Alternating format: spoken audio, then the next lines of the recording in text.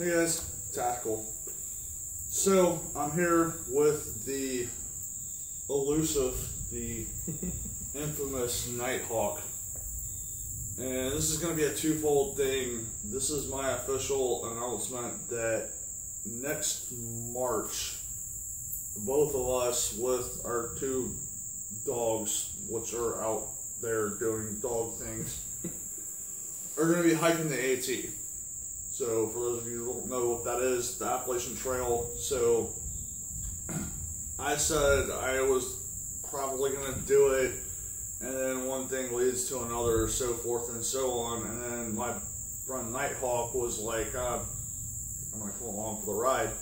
So, KnightHawk, if you could just kind of introduce yourself to my audience and kind of tell why you decided to come along for this ride. Eh, kind of sounded like fun. You were sitting there talking about it for a while, thinking about doing it, and it, and you, and you made an offhanded comment one day. Well, you should come with me. Okay, that's really cool. And month, two months went by.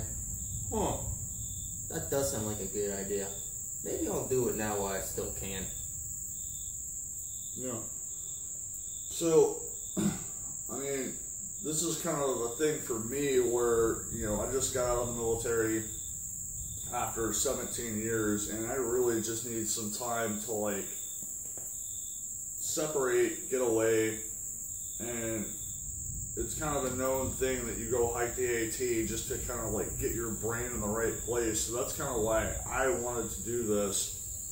And as it's kind of developed, you know, it was kind of like, for me, it was kind of like, okay, I'm gonna possibly do this.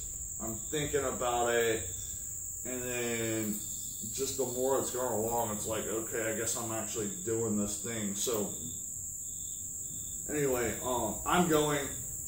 He's coming with me. The dogs are coming with us. So along the way, we're getting ready to start up his YouTube channel and whatever else he decides to do. So we're actually getting ready right now to shoot a video for his YouTube channel, and we're gonna lay out all of our gear and kind of go through everything and do a comparison as to what I have, what he has. He's gonna be upgrading a lot of his stuff. I've already upgraded a lot of my stuff, so you know, yeah, be looking forward to whatever we put out in the future. I'll try to get links once we get his stuff up and running to his YouTube channel, and that way y'all can kind of keep track of both of us if you want to. But other than that, yeah. Until next time, bye.